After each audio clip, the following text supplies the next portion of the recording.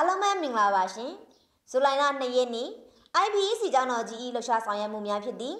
Center for Monastery Education ဖြစ်သည့်ပညာရေးလှူရှားဆောင်ရွက်သည့်တည်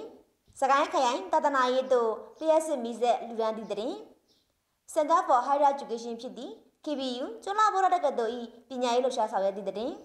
အာဟာရဒါနအစွမ်းလူရှင်များစတဲ့အကြောင်းအရာများကိုကျမစွန်တီမောင်ကတင်ဆက်ပေးသွားမှာဖြစ်ပါတယ်ရှင်။ IBEC အပြည်ပြည်ဆိုင်ရာဗုဒ္ဓဘာသာပညာရေးစင်တာကျောင်းတိုက်ကြီးသည် ပြည်တွင်းသားမကပြည်ပမှပညာရေးနှင့်ပတ်သက်လျက်ရှိသောတက်ကြွပညာရှင်များကိုယ်တိုင်လာရောက်တင်ကြားပေးနေသည့်ကျောင်းတော်ကြီးဖြစ်သည့်အလျောက်ယနေ့တွင်လည်း IBEC ဒီပရီဆရာတော်ဘုရားကြီး၏စီစဉ်လမ်းညွှန်ချက်အရအင်ဒိုနီးရှားနိုင်ငံမှဧည့်သည်ဆရာအဖြစ်တိလရှင်ဆရာလေးခင်မဝန်တီတီအထက်တန်းစဉ်ပညာရေးအားတင်ကြားပို့ချလျက်ရှိပါရရှင်တိလရှင်ဆရာလေးခင်မဝန်တီတီ မြန်မာနိုင်ငံရှိ IBEC ဒီပရီဆရာတော်ဘုရားအားလာရောက်ဖူးမြော်တွေ့ဆုံခြင်းနှင့်မဟာဝိဇ္ဇာဘွဲ့အတွက် MA တိစစ်တုတေသနာပြုစာရန်ရေးသားရန်ဖြစ်လဲရောက်ရှိနေခြင်းဖြစ်ပါတယ်ရှင်။ IBEC ဒီပရီဆရာတော်ဘုရားနှင့်တိလရှင်ဆရာလေးခင်မဝန်တီတီအင်ဒိုနီးရှားနိုင်ငံဂျကာတာမြို့တွင်ကျင်းပသော G20 Summit အစည်းအဝေး၌တွေ့ဆုံရင်းနှီးခဲ့သောသာသနာပြုမောင်နှမမိတ်ဆွေများပဲဖြစ်ပါတယ်ရှင်။ IBC ဒီပရီဆရာတော်နှင့် IBC ကျောင်းတိုက်ကြီးမှာစကိုင်းခရိုင်သာသနာရေးဌာနသို့လျှက်စစ်မီးဆက်လူဒန်းသည့်အကြောင်းအရာများကိုတင်ဆက်ပေးသွားမှာဖြစ်ပါတယ်ရှင်။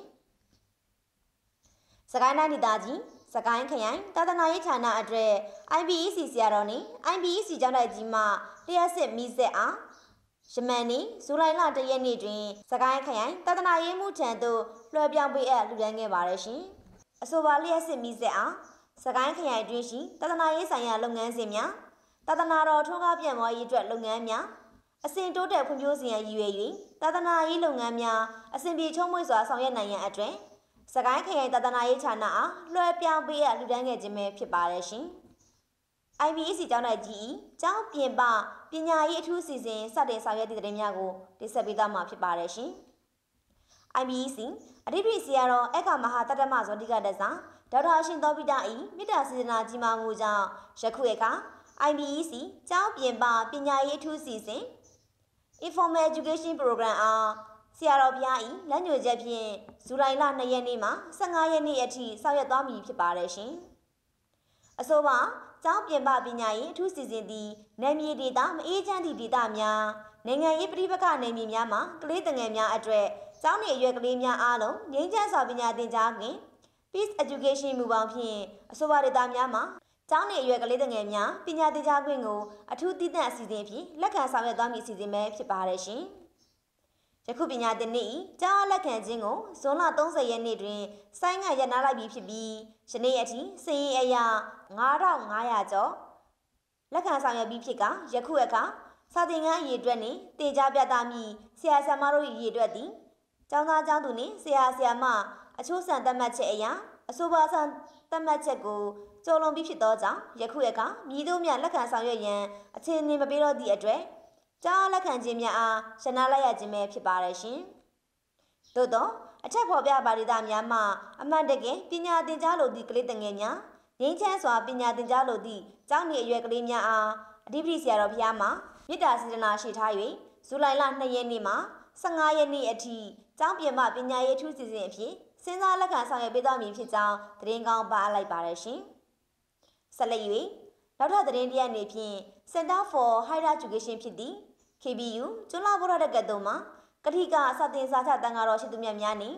KBU ကျွန်းလာဘောရတက္ကသိုလ်၌ပညာသင်ယူလျက်ရှိသောစာသင်သားတို့သည်ကမ်ဘလူမြို့နယ်အတွင်းသို့စွန်းဆန်စိန်အလူခံကြွားရောက်ခဲ့ရာတန်ဃာတော်အရှင်သူမြတ်တို့အားအမတ်တရက်ွက်နှင့်ဦးခင်စောဒေါ်နင်းယူလင်နိုဘယ်မိသားစုမှနေစွမ်းများဆက်ကပ်လှူဒန်းခဲ့ကြပါရရှင်။ KBU ကျွန်းလာဗုဒ္ဓတက္ကသိုလ်မှအင်္ဂလိပ်စာစိတ်ပါဝင်သားသူများအားလူမျိုးဘာသာမရွေးအသက်ရအပိုင်းခြားကန့်သတ်မရှိ အခမဲ့အင်္ဂလိပ်စာသင်တန်းများအားအခြေခံမှစတင်၍အပတ်စဉ်အင်္ဂါကြာသပတေးနေ့တောက်ကြနေ့နေ့လယ်2နာရီမှ4နာရီထိဖွင့်လှစ်တင်ကြားပေးသွားမည်ဖြစ်ကြောင်းသတင်းကောင်းပါလိုက်ပါရရှင်။ IBC ကျောင်းတော်ကြီး၌သတင်းသုံးနေထိုင်ကြသောတန်ဃာတော်တို့အားနေပြီးတော့တက်ကုန်းမြို့ ဆီယာမာကြီးတော်တင်တင်အေးဥဆောင်သည့်အငိမ့်စားပညာရေးဝန်ထမ်းများနှင့်ပေါင်းစုထားသည့်ကုသိုလ်ရှင်များမှအာယုံစွမ်းနှင့်နေစွမ်းများကိုစက္ကလှူဒန်းခဲ့ကြပါရရှင်။ KBU ကျွလာဘောရတက္ကသိုလ်၌တရင်သုံးနေထိုင်ကြသောတန်ဃာတော်ရှင်သူများတို့အား